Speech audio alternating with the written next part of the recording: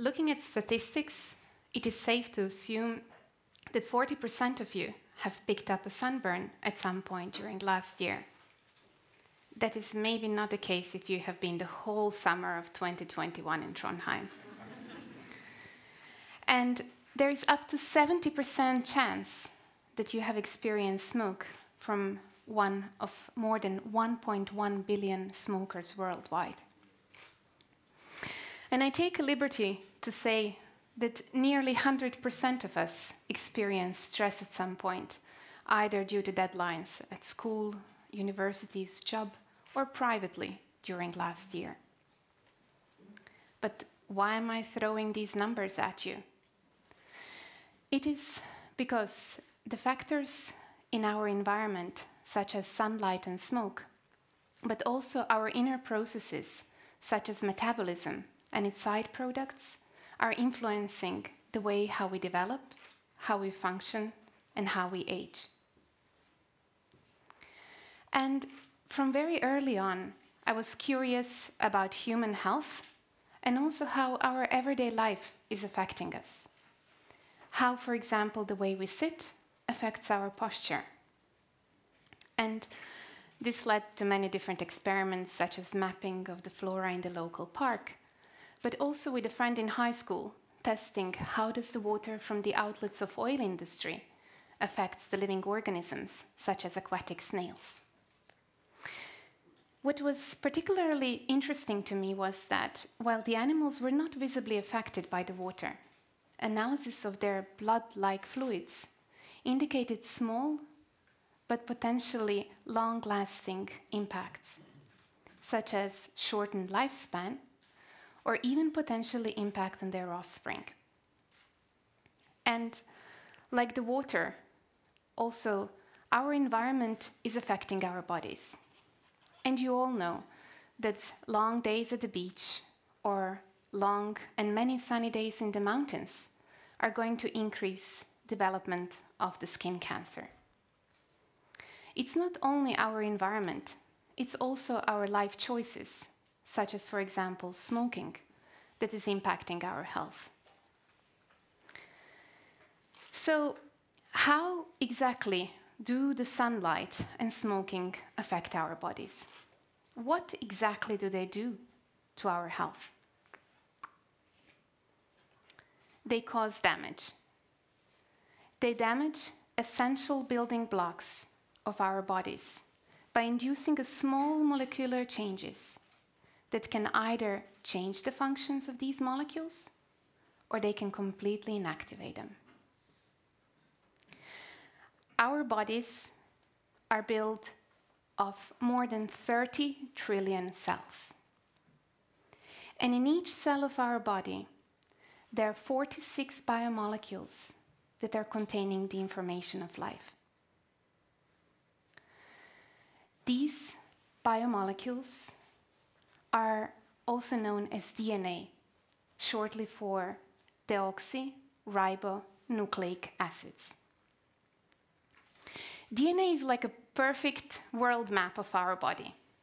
It contains the information about its continents, tissues, and organs, but also information about different cities and villages, different cell types. And just like every map, DNA is composed of lettering. This lettering gives meaning to cities and regions. In each cell of our body, there's six billion letters. And when organized together, they give two meter long molecule that is then compacted in 20 to 30 micrometer small cell. If we would now be able to do the experiment and take a DNA from all the cells of our body and paste them end to end, we would be able to reach from Earth to Sun and back 300 times. That's a long journey. But what is very fascinating is that it takes only a handful of changes in the letters for diseases such as brain disorders or cancer to occur. And in fact, our world maps are continuously impacted by the environment, by our inner processes. So even as you're sitting right now, here and listening to me talk, without any exposure to the sunlight and hopefully no stress, 140 changes in the lettering of your body maps will occur in every cell of your body.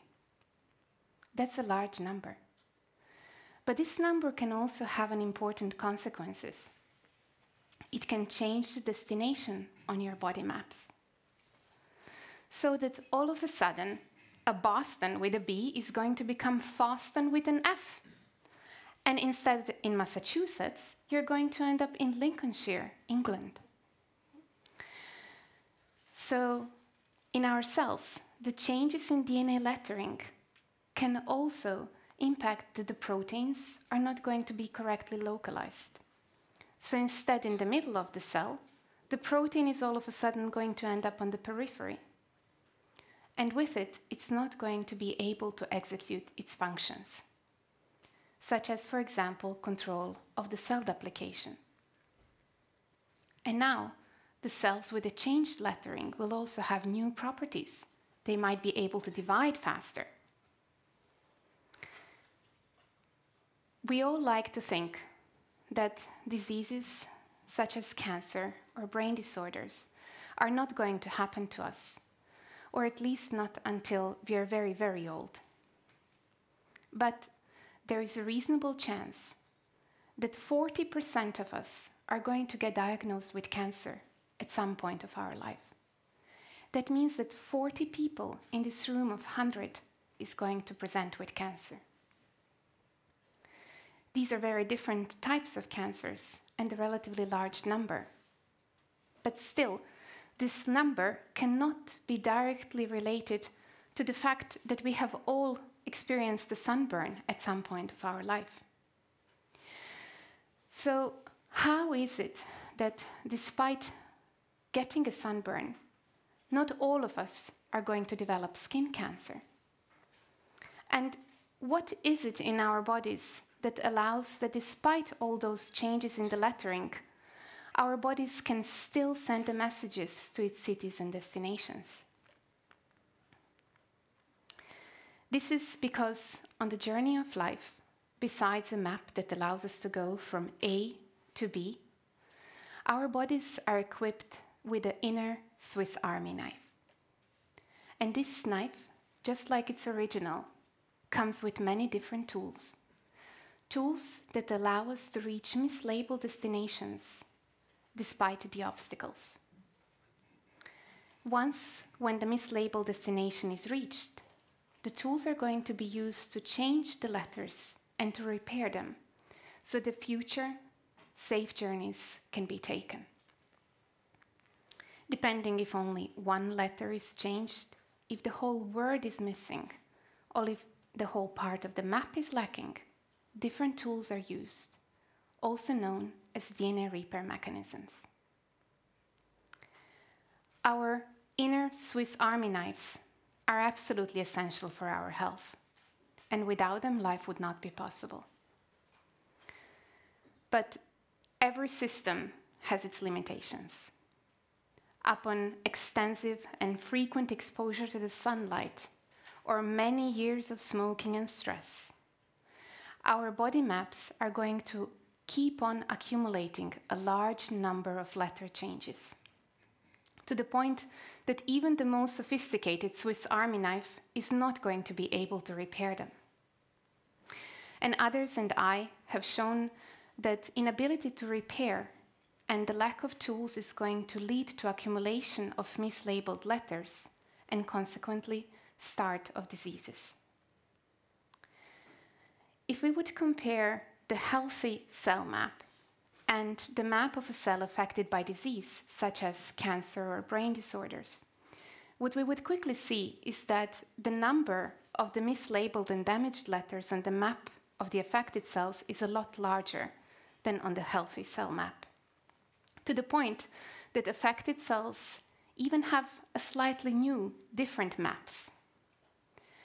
On these new, different maps, the cancer cells can a lot quicker reach a key destinations, but at the cost of falling off track. However, as long as the key destinations can be reached very quick, the cancer is going to thrive. And at a point when the amount of damage becomes so extensive that even the key destinations become mislabeled, the cancer is going to collapse and with it the systems.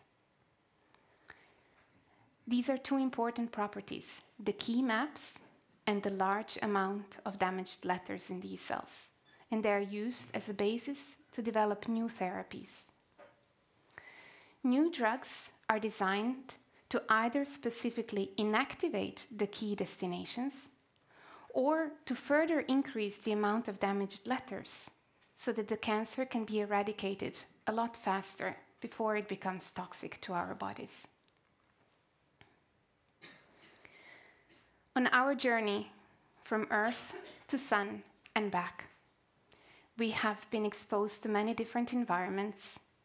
Our body maps are accumulating damaged letters, and with it, the risk of diseases is increasing. Our inner Swiss Army knives are working to its full capacity, trying to repair as many damaged letters as possible. But we should be aware that our body maps are fragile and our knives have finite capacities.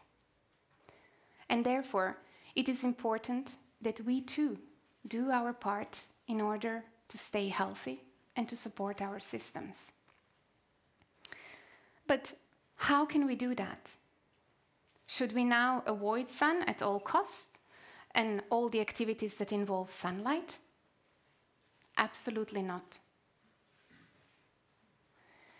The knowledge that we have about our inner maps and about our repair systems, our army knives, should be used rather in making everyday choices. We do need our journeys to see beautiful destinations, and we do need sunlight for vitamin D production. So, the knowledge that we are having about our body maps and our inner Swiss knife should be used to help us to understand that not every exposure to sunlight and not every type of stress is going to be harmful. Instead, we do need sunlight.